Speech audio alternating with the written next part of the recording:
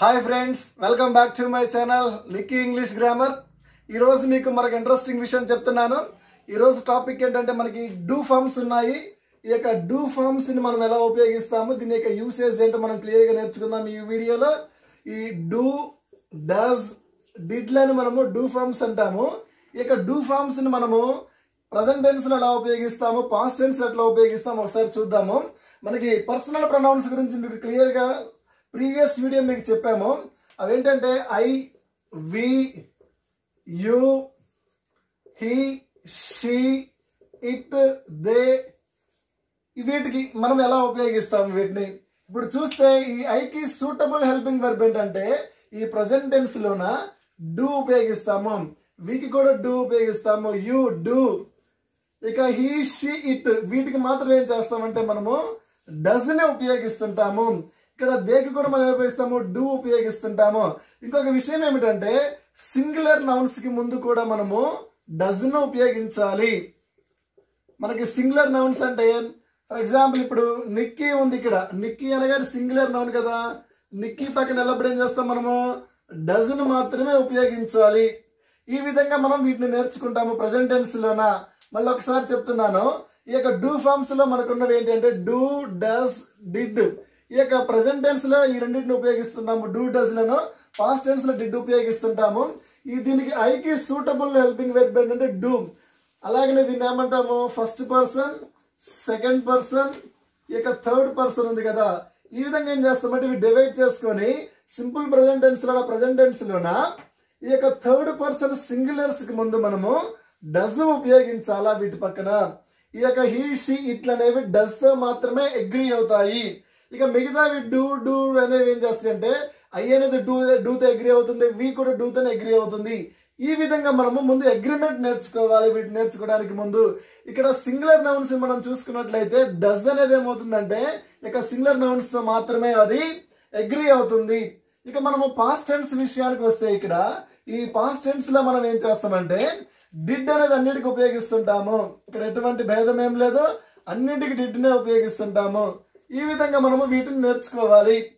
ఇక నెక్స్ట్ ఏంటంటే వీటిల్లోన వీటిని మనము ఉపయోగించి ఏమేమి చేయొచ్చు అనేది చూసుకుందాం ఒకసారి. ఏం చేస్తామంటే ఒకటి అసర్టివ్ సెంటెన్స్ నుంచి వీటిని మనము ఏం చేస్తామంటే క్వశ్చన్గా మార్చవచ్చు.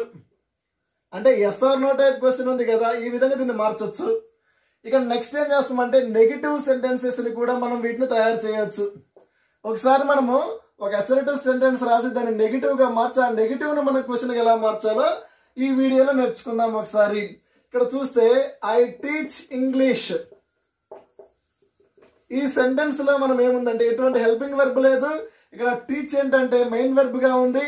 ఇప్పుడు దీన్ని మనం ఎలా క్వశ్చన్గా మార్చాలంటే ఇటువంటి సందర్భాల్లో మనం ఏం చేస్తామంటే డూ ఫార్మ్స్ ఉపయోగిస్తుంటాము. ఫర్ ఎగ్జాంపుల్ ఇక్కడ టీచ్ అనేది ఒరిజినల్గా ఎలా ఫామ్ అవుతుందంటే డూ ప్లస్ టీచ్ అవుతుంది ఇక్కడ. Do plus teach is equal to do teach అవుతుంది. Do teach means teach. అంటే దీని యొక్క ఒరిజినల్ ఫామ్ ఇలా ఉంటుంది. I do teach English. ఈ విధంగా ఉంటుంది కదా. ఇప్పుడు ఏం చేస్తామంటే మనము క్వశ్చన్గా ఎలా మారుస్తామంటే ఈ యొక్క డూ ఉంది కదా హెల్పింగ్ వెర్బ్ ఇలా మనం ముందుకు తీసుకొచ్చి ఈ యొక్క సబ్జెక్ట్ని హెల్పింగ్ వెర్బ్ను మనం ఇలా మార్చుకుంటే డూ ఐ టీచ్ ఇంగ్లీష్ అవుతుంది కదా. ఈ విధంగా మనం వీటిని క్వశ్చన్స్గా మారుస్తుంటాము. ఓకే నెక్స్ట్ దీన్ని నెగిటివ్ ఎలా రాస్తాము? సేమ్ నెగిటివ్ కూడా ఇలానే రాస్తాము. ఇక్కడ చూడండి. ఐ డూ టీచ్లో ఐ డూ టీచ్ ఇంగ్లీష్ ఇప్పుడు దీని యొక్క నెగిటివ్ సూటబుల్ వర్డ్ ఏంటంటే మనకున్న నెగిటివ్ వర్డ్స్ ఏంటంటే నో నాట్ నెవర్ వీటిని మనం నెగిటివ్ వర్డ్స్ అంటాము. ఇప్పుడు ఈ యొక్క డూకి సూటబుల్ నెగిటివ్ వర్డ్ ఏంటంటే నాట్ అవుతుంది కదా.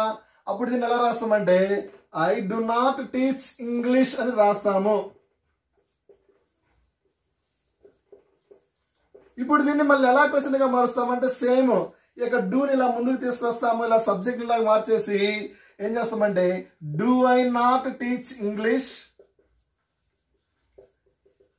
ఈ విధంగా మనము ఒక అసర్టివ్ సెంటెన్స్ నుంచి ఒక క్వశ్చన్ రాసాము అలాగే నెగిటివ్ రాసాము నెగిటివ్ క్వశ్చన్ కూడా రాసాము. ఇంకొక విషయం ఏంటంటే ఈ డూ ప్లస్ నాట్ ఏమవుతుందంటే మనకి డోంట్ అవుతుంది కదా. దీన్ని ఈ విధంగా కూడా రాయొచ్చు మనము. ఒకసారి ఇక్కడ చూస్తే డోంట్ ఐ టీచ్ ఇంగ్లీష్ ఇది కూడా క్వశ్చన్ కరెక్టే అవుతుంది. మీరు ఈ టూ మోడల్స్లో డూ ఐ నాట్ టీచ్ అని రాసినా కరెక్ట్ అవుతుంది. డోంట్ ఐ టీచ్ ఇంగ్లీష్ రాసినా కూడా కరెక్ట్ అవుతుంది. ఈ విధంగా మీరు ఈ యొక్క డూ ఫార్మ్స్ను ఉపయోగించి క్వశ్చన్స్ని రాసుకోవాలి. ఇక నెక్స్ట్ ఇంకొక ఎగ్జాంపుల్ చూద్దాము. దీన్ని మనము క్వశ్చన్గా మారుద్దాము. అలాగే నెగిటివ్ స్టేట్మెంట్గా కూడా మారుద్దాము. ఒకసారి చూస్తే యూ ప్లే క్రికెట్. ఇప్పుడు ఈ స్టేట్మెంట్లో మనకి ఎటువంటి డూ అంటే హెల్పింగ్ వెర్బ్ లేదు. ఇక హెల్పింగ్ వెర్బ్ లేనప్పుడు క్వశ్చన్ ఎలా మార్చామంటే సేమ్ ఇక ప్లే అనేది ప్రజెంట్ టెన్స్లో ఉంది కదా. దీని ఫామ్ ఎలా ఉంటుంది?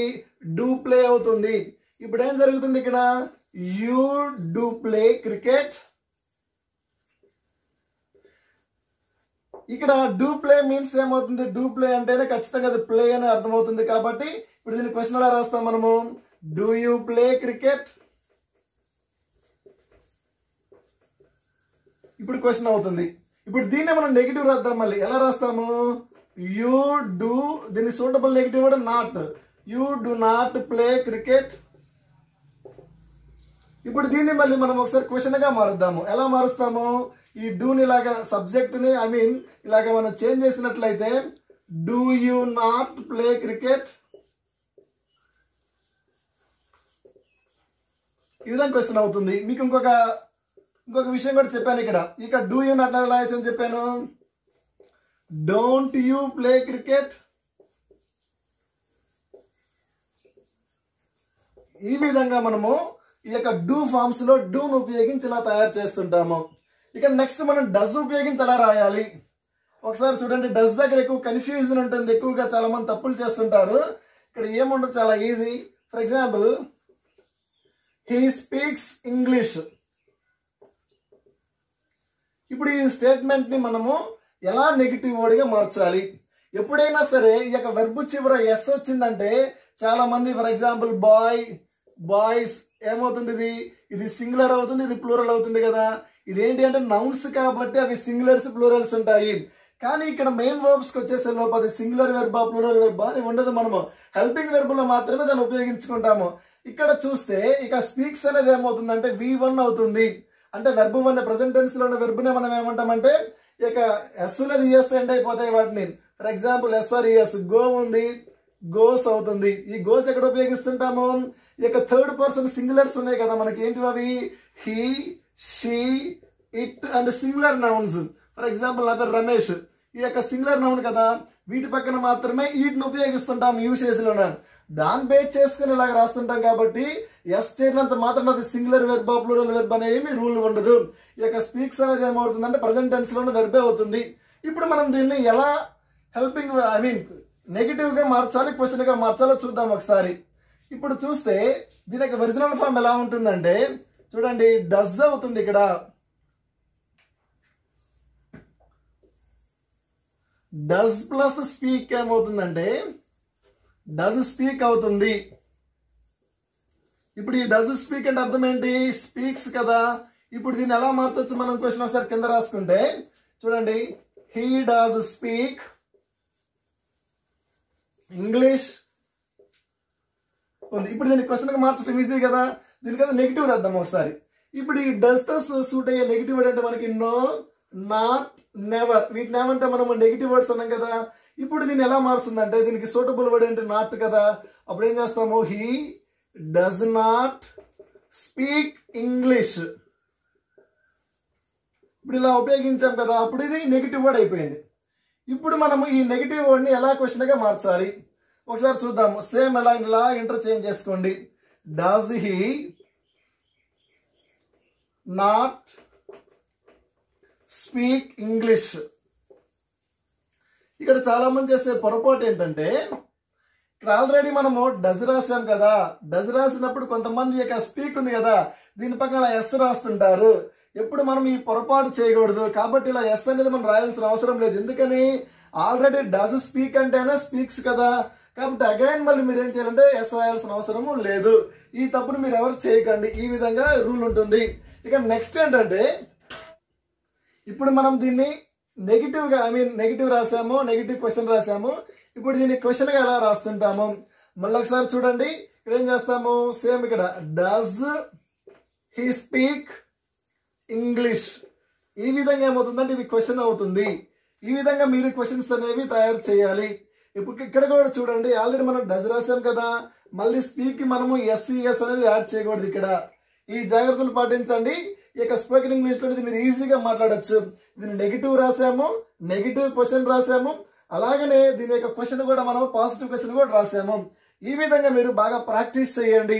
ఇంకొక ఎగ్జాంపుల్ చూద్దాం దీనిలోన. ఒక ఎగ్జాంపుల్ ఏంటంటే ఇక్కడ మనకి రవి కుక్స్ ఫుడ్ ఇప్పుడు దీన్ని ఎలా మార్చాలి? ఒకసారి చూడండి.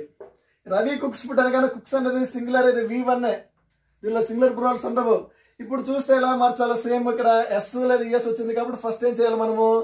Does రాయాలా? Next Ravi. Does Ravi next cook మాత్రమే రాయాలి. ఎందుకని? కుక్స్ అనేది రాయకూడదు. డస్ రవి కుక్ ఫుడ్ ఇది క్వశ్చన్ అయిపోయింది. ఇప్పుడు దీన్ని నెగిటివ్ ఎలా రాయాలి మళ్ళీ? ఇప్పుడు నెగిటివ్ ఎలా రాస్తామంటే చూడండి Ravi does not cook food. ఇది నెగిటివ్ అయిపోతుంది. ఇప్పుడు ఈ నెగిటివ్ని మళ్ళీ ఎలా క్వశ్చన్గా రాయాలి? ఈ విధంగా సేమ్ ఇలాగా ఇంటర్చేంజ్ చేసుకోండి. Does Ravi not cook food ఈ విధంగా మీరు క్వశ్చన్స్ కూడా తయారు చేసుకోవాలి. ఇప్పుడు చూడండి ఈ డజ్ ప్లస్ నాట్ని కూడా కలిపి రాయొచ్చు. క్వశ్చన్ ఈ విధంగా కూడా ఎలాగా? డజంట్ రవి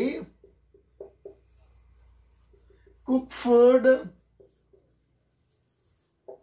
ఈ విధంగా మీరు ఏం చేస్తారంటే కొన్ని ప్రాక్టీస్ చేయండి. అలాంటి మనం డూ చెప్పాము డస్ చెప్పాము.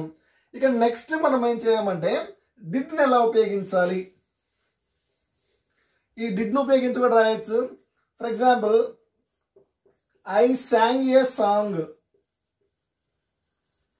ఇప్పుడు దీన్ని ఎలాగ మనము ఇక నెగిటివ్ సెంటెన్స్గా మార్చాలి.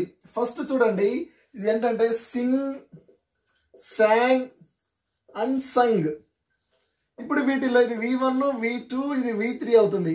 ఇప్పుడు వి టూ ఇచ్చాడు కదా. దీని ఎలా ఉపయోగిస్తాం? ఎప్పుడైనా గుర్తుపెట్టుకోండి. సాంగ్ అనేది ఒరిజినల్ ఫామ్ ఏంటంటే డిడ్ ప్లస్ సింగ్ అవుతుంది ఇక్కడ. అప్పుడు ఏమవుతుందంటే సాంగ్ అవుతుంది. ఇక్కడ సింగ్ గురించి చెప్పాం కదా. డూ ప్లస్ సింగ్ అనేది సింగ్ అవుతుంది. డిడ్ ప్లస్ సింగ్ అనేది సాంగ్ అవుతుంది. ఇప్పుడు ఇక్కడ దీనికి డజ్ ప్లస్ సింగ్ అనేది ఏమవుతుందంటే సింగ్స్ అవుతుంది. ఇప్పుడు మనకి ఇక్కడ ఇచ్చిన ఐటమ్ ఏంటి? సాంగ్ కాబట్టి ఇప్పుడు మనం ఏం చేస్తాము? I did sing a song ఇప్పుడు ఇక్కడ గమనించినట్లయితే మనము దీనికి ఆ డిడ్ సింగ్ మీన్స్ సాంగ్ కాబట్టి దీన్ని ఎలాగ మనం నెగిటివ్ రాయాలి? సేమ్ ఈ డిడ్కి సూటబుల్ నెగిటివ్ వర్డ్ ఏంటి? నో నాట్ నెవర్ ఈ త్రీ వర్డ్స్లో సూటబుల్ ఏంటంటే నాట్ ఇప్పుడు ఏం చేయాలి దీనికి? ఐ డిడ్ నాట్ అని రాయాలి ఇక్కడ. ఈ యొక్క హెల్పింగ్ వెర్బ్కి మాత్రమే మనం ఏం చేస్తామంటే నాట్ యాడ్ చేస్తాము. I did not sing a song అవుతుంది ఇక్కడ. ఇదే నెగిటివ్ రాసాం ఇప్పుడు దీన్ని క్వశ్చన్ ఎలా రాయొచ్చు? సేమ్ ఇలా ఇంటర్చేంజ్ చేసుకోండి. Did I not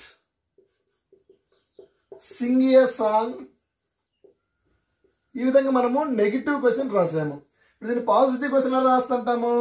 Did I sing a song ఈ విధంగా ఇక ఒక స్టేట్మెంట్ని క్వశ్చన్గా మార్చాము నెగిటివ్ క్వశ్చన్గా రాసాము నెగిటివ్ సెంటెన్స్గా రాసాము ఈ విధంగా మీరు కూడా ఒక వర్బం తీసుకోండి ఇలా ప్రాక్టీస్ చేయండి. స్పోకెన్ ఇంగ్లీష్లో మంచి పొట్టు వస్తుంది. మీకు ఈ వీడియో కింద డిస్క్రిప్షన్ లోన? పర్సనల్ ప్రొనౌన్స్ గురించి సంబంధించిన వీడియో మీకు పంపిస్తాను ఇందులోన? మీకు కానీ ఈ వీడియో నచ్చినట్లయితే ఖచ్చితంగా లైక్ చేయండి షేర్ చేయండి అలా నా ఛానల్ సబ్స్క్రైబ్ చేయండి. Thank you have a